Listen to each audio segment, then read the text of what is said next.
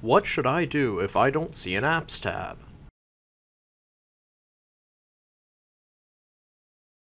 The current tabs shown do not include apps. To get the Apps tab, first close Adobe Creative Cloud. Open the C drive in your File folder. Navigate to the Program Files x86 folder. Open the Common Files folder. Open the folder labeled Adobe.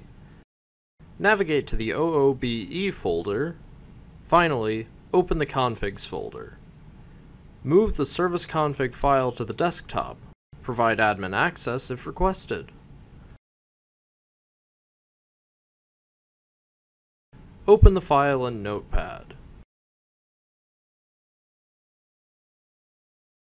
Change the value of Apps panel from false to true.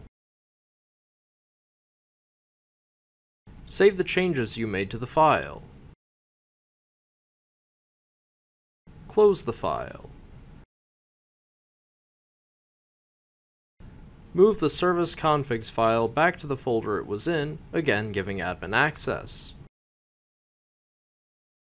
Restart the computer.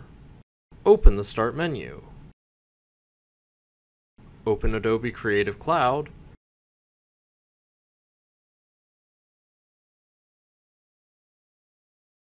And the Apps panel should reappear on the list.